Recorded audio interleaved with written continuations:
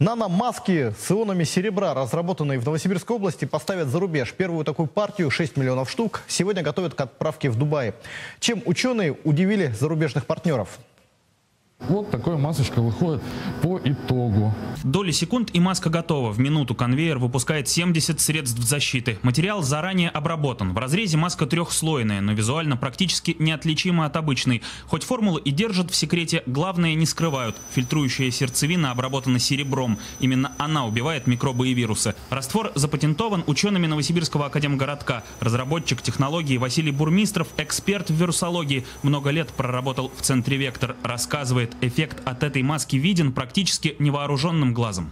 Если, так сказать, будет использована маска, обработанная вот э, биосеребром, из этой тысячи микробов попадет только одна.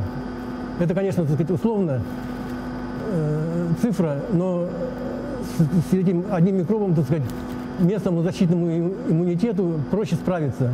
Чтобы обеспечить дополнительную защиту, ионизированные маски отправляют на стерилизацию. Прямо в коробках помещают в радиационный ускоритель электронов, разработанный в Институте ядерной физики. Метод проникающего излучения беспощаден к вирусам и бактериям.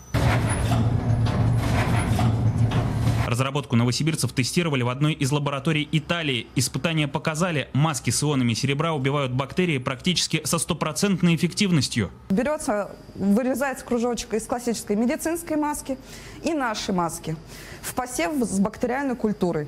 Спустя время на классическую медицинскую маску бактериальная культура начинает находить на края, да, то есть, грубо говоря, атаковать. А в случае с нашей бактерицидной маской бактериальная культура погибает.